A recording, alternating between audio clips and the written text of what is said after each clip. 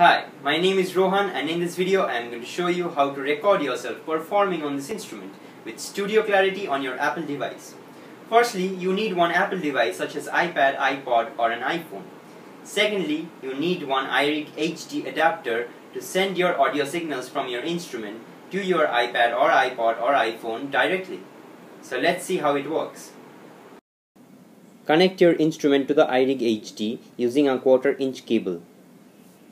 Use the cable included with the iRig HD to connect it with the Apple device. When you turn on your iPad, iPhone or iPod, you can see that the LED on the iRig HD turns light blue in color. This means that it is connected to your Apple device.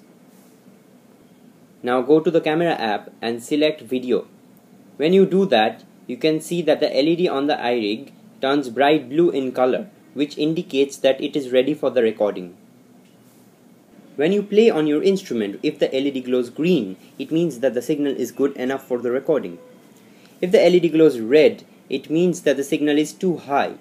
You can either use the volume knob on the instrument to lower the gain, or you can use the gain slider on the iRig HD itself. For most of my videos, I have used the iPad's front camera to record the video, as well as the one you're watching right now. So if you have any queries regarding the whole process, you can write to me in the comment section below. I'll definitely try to help you out. Till then, cheers.